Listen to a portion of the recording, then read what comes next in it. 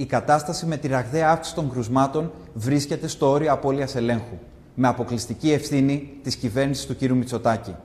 Οι αντιφατικές δηλώσεις κορυφαίων υπουργών για ενδεχόμενο lockdown αναδεικνύουν το ολοκληρωτικό αδιέξοδο.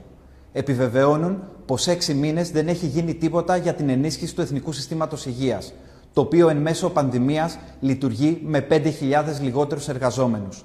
Ανακοινώνουν αναποτελεσματικά μέτρα για την Αττική την ίδια στιγμή που τα σχολεία ανοίγουν χωρίς ουσιαστικό σχεδιασμό και η καθημερινότητα στα μέσα μαζικής μεταφοράς είναι τραγική.